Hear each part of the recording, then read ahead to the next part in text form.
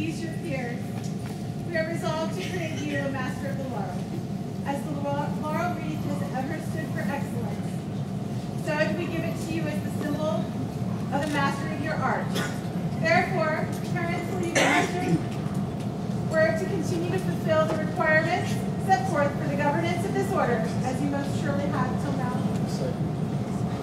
Will you increase your labors nobly, increase your talents as befits one of your rank, and seek to disseminate your talents and abilities throughout the society?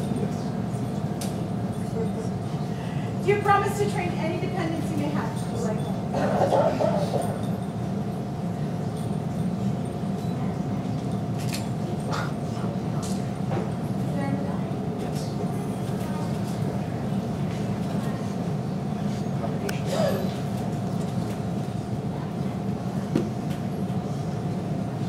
Then take from our hands the symbol of nobility and token of our esteem, proudly that all may recognize your skills and your services as we acknowledge it.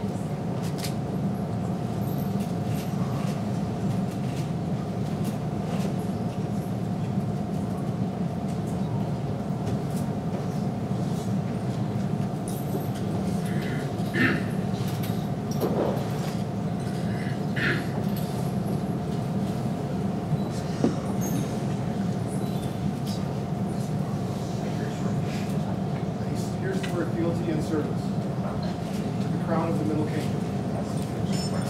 To have earned rich crown by talents and abilities. To promote the diverse arts and sciences. To continue the instruction of my apprentices. To increase the glory of the Middle Kingdom. To be worthy of the wreath I wear. Thus swear I, Terrance of Tynesdale.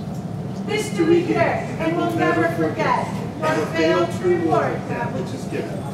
fealty with love, service with honor, and oath breaking with vengeance. Bryce, Master Terrance Tynesdale, Master of the Order of the Laurel.